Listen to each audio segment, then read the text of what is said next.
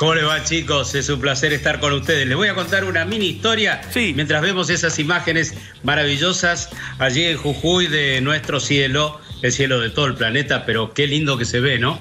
Eh, miren, en el año 86 pasaba eh, cerca de la Tierra el cometa Halley eh, digamos, una de las tantas veces que pasó el cometa Halley, pero pasa cada tanto. Esto se mide en muchos, muchos años.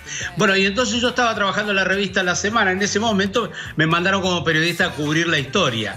Yo tenía que volar en un avión y estar más cerca que nadie del cometa Halley. Y esto es unos 12.000 metros más cerca que el resto de todos los seres del planeta. Este avión estaba rentado por una empresaria que, que, vendía, digamos, se hizo mucha plata vendiendo esas cositas de Taiwán, productos así, y de repente rentó un avión a razón de 500 dólares per cápita, un avión Boeing 727 y con 200 pasajeros a bordo que pagaron religiosamente todo eso, yo no porque era periodista y el fotógrafo que me acompañaba tampoco, por suerte. Pero todo el mundo entonces arriba del avión, salimos a las 2 de la mañana de Ceiza y estuvimos 5 horas dando vueltas en el cielo. Escuchen una cosa, fue la primera vez y la única vez en la historia de mi carrera periodística, que arrancó seis años antes de 1986, donde fui a ningún lado. O sea, salí a buscar el cometa, pero lo, más importante de esto es los protagonistas que había arriba del avión. Las 200 personas que entrevisté eran gente que había pagado que había venido del interior, o eran odontólogos, chacareros, eh, martilleros, gente de todo el país. ¿Qué pasa? Tenía tres, tres filas de asientos de cada lado del avión. Entonces, lo de la ventanilla no le querían dar el, lugar a los del medio y mucho menos a los del pasillo para que puedan ver el cometa en las ventanillas. Con lo cual se armó un problema a bordo tremendo y yo estaba ahí registrándolo todo. La azafata estaba enojada, las azafatas estaban enojadas porque habían hecho un viaje a Ushuaia previamente y después tenía que hacer este vuelo rentado y viajar a, ningún lado y no le iban a pagar por esto. Y había un maestro de ceremonias que era Leonardo Simmons, el conocido conductor que estaba en la primera fila y que agarraba un, megáfono y entonces hacía de maestro de ceremonia contando todo lo que iba pasando.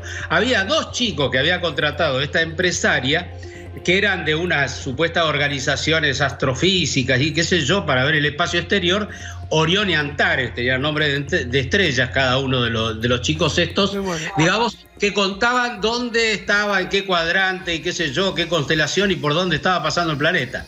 Y el avión iba para un lado, iba para el otro, qué sé yo, este, se peleaba toda la gente, nadie veía nada, todo el mundo tenía cartas, larga vista. Entonces, de repente viene la comida, por lo menos para paliar un poco el enojo, porque había un enojo eh, generalizado. Y entonces yo me acuerdo de la comida, er, era, mira, trucha ahumada a la Waldorf, lomo florentín y mousse de San Bayón. Bueno, el caso, ¿cómo siguió esta historia? Es que estuvimos cinco horas dando vueltas y en determinado momento a los postres llegó el show, porque también había con cena show, era Adentro, arriba del avión. Todo arriba del avión. Entonces, vestidos de color amarillo huevo, con una corbata al tono y zapatos blancos, apareció el trío San Javier como si fueran, eh, digamos así, mariachis mexicanos cantando. Eh, en esa época estaba de moda y cantaban baladas y qué sé yo, y cantaba una cosa que parecía medio una tomada de pelo, porque decían este, la canción de Gardel, la que habla de la de la noche eh, eh, y que es eh, hermosísima, qué sé yo, que no me acuerdo, es un tango ahora. Bueno, el caso es que estuvimos cinco horas, no pasó nada, nadie pudo ver al planeta, al cometa, perdón. Y entonces volvimos y todo el mundo estaba como medio avergonzado. La azafata estaba enojadísima. Yo estaba feliz porque había hecho una crónica maravillosa. Te puedo asegurar que una de las más lindas eh, trabajos que pude, que pude escribir. Pero todo se basaba también en viejas historias del cometa Halley. Eh, vamos a decir, en esa historia yo incluí datas sobre el cometa, porque en 1910 era la última vez que había pasado eh, cerca de, de, nuestro planeta y hubo 400 suicidios por lo menos en Argentina, ¿eh? Ojo, en todo el mundo hubo suicidio, decía que se debería el fin del mundo, porque tenía iba, bueno, no había, la, digamos así, las posibilidades de, que la gente entendiera esto. Por eso ahora es maravilloso ver lo que estamos viendo y lo estoy siguiendo con mucha atención. A mí me encantan las cosas del espacio exterior. Yo de alguna manera soy un poco ajeno a la Tierra. Con esto no quiero decir que soy un marciano, quiero decir de, que me gustan las cosas. Y alguna vez como verás entonces, Mati, estuve más cerca que nadie del cometa Halley. Eso sí, no lo vi. Y eso que tenía una cola de 38 millones de kilómetros. Parecía el vestido de novia más largo del universo. ¿Pero por dónde fue, el vuelo? ¿Eh? ¿Por dónde fue el vuelo? Ah, el vuelo, rumbo, eh, me, dijo el, el, piloto tenía 17 eh, mil horas de vuelo. Rolf Ossinger, era campeón mundial de vuelo a vela, era, era un capo de tutti capi, eh, totalmente el piloto. Y le pregunto antes de salir, eh, comandante, ¿a dónde vamos a ir? ¿Qué? Rumbo 283, me dijo. Eh, y yo le digo eso que es cuadrante, no sé, algo así. Sí, oeste, noroeste. Villa Reynolds. Ah. Y bueno, parece que fuimos a Villa Reynolds, pero yo nunca fui la primera vez que me mandaron una nota y nunca supe dónde, estuve. La gente terminó un poco avergonzada, porque claro, había agarpado, ¿viste? Había agarpado mucha guita. Y la verdad es que nadie pudo ver el planeta y todos se pelearon porque nadie quería dejarle el asiento al otro.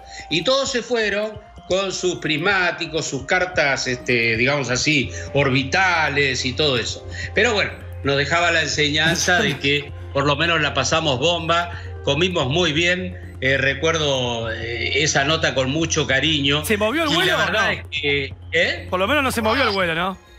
No, no, el vuelo fue plácido. Menos mal, imagínate si encima había turbulencia. sí, no, no. No, era terrible eso. Pero no, cómo se peleaba la gente, no, no sabés lo que fue. no tenés idea de lo que fue, porque claro, no, no aclararon de que el tipo que estaba en, la ventanilla no le quería dejar el, pasillo, eh, digamos, libre ese lugar a los del pasillo o a los que estaban en intermedio. esos aviones tenían tres filas de asiento. Pero bueno, vos sabés. Sí. Eh, por otra parte, eh, me encanta lo que están haciendo. muchachos, sigan así, porque eso, las imágenes que he visto son maravillosas. Y siempre digo, porque estoy viendo la serie de La Tierra a la Luna de Tom Hanks, que es maravillosa, ¿cierto? Y me la estoy comiendo directamente. Hay una frase que dice, sí. cuando, y quién sabe, es buena para estos tiempos también que estamos viviendo, chicos, porque dice, cuando hay suficiente oscuridad, puedes ver las estrellas. Es. Es excelente. Mario, eh, quédate un segundo ahí porque. Los interrumpo, miren ahora. A ver, a ver, a ver. Ah, sí, sí, sí, sí, dame, dame esa miren, puesta. Miren, miren. No, dame esa imagen. Eso, con eso. Y agradeciéndole a Mario es que es encantador. La verdad es encantador ah, no me lo todavía que Mariano le quiere hacer una pregunta, pero ¿qué, imagen es esta, José? Bueno, es una cuestión de segundos. Se está poniendo detrás, ahí se acaba de poner. Eh, queda todavía solamente un cuerno de la luna. Ahí va, ahí va. Ahí está. ¡Qué imagen! La nada. Ahí está, mira, mira, mira lo que queda nada más. Qué lindo. Esto lo vamos a volver a repetir, le voy diciendo a la gente de producción, ¿eh? Esto lo vamos a volver a repetir, ¿eh? Qué buena imagen. está, está ahí pasado, está, está. pasado, le decimos en satelital como hablamos nosotros, así que después si quieren repetimos la apuesta de la luna. Eh, estaba los gritos como, una, como un nene desesperado. No, muy bien, José. Eh, y porque valía la pena, perdón, me interrumpí, interrumpí a la historia de Mario. No. Mario, sí, dale. Eh, ¿cuánto nos cobras por hacer un fogón y venir a contar historias? acá somos nueve. El, gaita, el gaita cocina, ya lo sabrá, me imagino, y nos quedamos un día hasta, hasta lo que pasa es que debe tener toda la agenda ocupada. Yo conozco, sé que en el canal tiene muchos amigos. Vos sabés que me encantaría, que me gusta viajar, Bati, oh. vos lo sabés también, estar acompañándolo a, tu amigo ahí, a nuestro común amigo, porque ese cielo es maravilloso, el cielo jujeño, eh, y lo que vemos ahí atrás con las posibilidades técnicas que tienen nuestros equipos ahora, verdaderamente son maravillosos. La verdad, eh, mirá, Pintita, eso es Mira, una pinturita al cielo. Una pinturita. Mario, Mario, no te vayas todavía un segundo. tu relato. Eh, tenemos a Mariano por acá que le quería hacer un comentario justamente de la anécdota que contaste. Mariano Rivas, nuestro astrónomo del planetario ah, aquí de Buenos Aires. Mariano, sí, te escuchamos. ¿Qué tal, Mario? ¿Cómo te va? Buenas noches. Bien. No, bueno, lo que, lo que vos contaste me, me, sonó perfecto porque yo viví esa época, era chico, pero la viví. Me acuerdo que se promocionó ese vuelo en los diarios y era muy cómico porque decían, bueno, vamos a ver de cerca el cometa, el avión vuela a 10, metros, a 10 kilómetros de altura, el cometa estaba a 63 millones de kilómetros, ¿no? Con lo cual lo más cerca, era bastante... Era como subirte un centímetro para estar más cerca de la punta del Everest, ponele, ¿no? Pero otra cosa muy graciosa fue que la gente en ese vuelo, si capaz que vos lo viste, porque estuviste en ese y no, creo que hubo más de uno, sacaban fotos del cometa con flash y el flash se les rebotaba en la ventanilla, con lo cual no salía el cometa sino una mancha blanca, ¿no? Que se habrán dado cuenta cuando revelaron la foto. Claro, ¿verdad? Tenía que revelar la foto, tenés razón. No, eh, no, fue maravilloso. Te puedo asegurar que no tiene desperdicio nada. Te estaría contándole 15 minutos más, pero naturalmente no, no viene al caso. Pero eh, fue muy divertido, fue linda la historia y aparte, como bien dice nuestro amigo, este, no podías hacer nada. El avión iba a mil kilómetros por hora, este, el plexiglas está todo rasguñado por las tormentas, este, rebotaba el flash cuando lo tiraba. Entonces, no había nada, prácticamente no había nada. Ahora, pasaba, yo estaba en el último asiento, pasaba gente al baño y por decirle al periodista de que, de que eh, no tenía vergüenza por haber comprado algo que verdaderamente no veía nada, decía, lo vi, es lindo, ¿eh? me decía. lo vi, es lindo, ¿eh?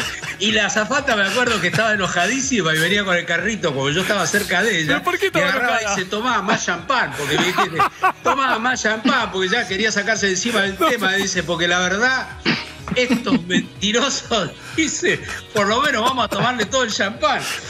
Y, bajó la zafata media, te digo, este, digamos, por sus propios medios, pero hasta ahí, ¿no?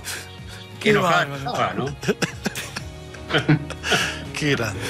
Bueno, eh, gracias, eh, gracias de verdad, Mario. Gracias, muchas gracias. Eh. Ojalá tengamos todos los, todos los viernes una excusa para, para llamarte, porque te copás. Me hiciste llorar, Mario. Muchas gracias. Todo gusto. Ah, y te digo, yo aprendí mucho, aprendí mucho. Bueno, me preparé como, como profesional, digamos, ¿no? Esta, esta es la parte que me hago un poco de autobombo, ¿cierto? Ah, por supuesto. Me preparé para esa nota, entonces yo digo este, que seguramente todos ustedes lo saben eso, pero dicen, entre todas las cosas que decían del cometa Halley, por lo menos del cometa Halley, decía que algunos en el medioevo pensaban que el cometa era la estrella de Belén, ¿no? Ah. Y otros pensaban de que cada vez que pasaba el cometa pasaba algo especial en el mundo.